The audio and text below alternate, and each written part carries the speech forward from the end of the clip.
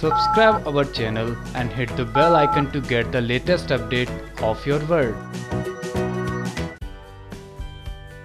Zee TV के show Kundali Bhagya में अब कुछ ऐसा होने वाला है, जो पूरा का पूरा खेल पलट कर रख सकता है जी हाँ हम आपको बता दें, इस बार समीर अब फैसला कर लेगा, जो सबको हिलाकर रख सकता है, क्योंकि इस बार कई लीडिंग वेबसाइट से ये अंदाज़ा लगाया जा रहा है कि समीर, जो करण और ऋषभ से भी आगे बढ़ जाएगा जब हम आपको बता दें कि समीर ऑफ़िस में अब सबके सामने कह देगा कि आज से लूथरा परिवार की प्रॉपर्टी का मैं भी हिस्सेदार हूँ, क्योंकि मैं भी अब इससे पीछे नहीं हटने वाला।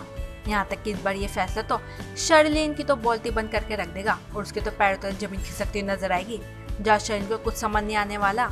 इसी साथ अब करण और ऋषभ भी कहीं ना कहीं खुश होंगे कि समीर अपनी ज़िम्मेदारी को समझने लगाए और समीर का ये फैसला अब शर्लिन पृथ्वी के प्लान को फेल करके ही रख देगा, क्योंकि दोनों के मन में अब इसको लेकर चिंता तो देखने को मिलेगी।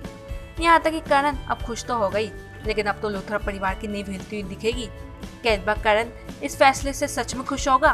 क्या करेगी शर्लिन अब ये सच जानकर? और कौन सा कदम उठाएँगे पृथ्वी और शर्लिन प्रॉपर्टी पेपर को हासिल करने के लिए? ये जानने के लिए बने रहिए हमारे साथ और साथ ही साथ सब्सक्राइब कर लीजिए हमारा channel twenty four X online news room की report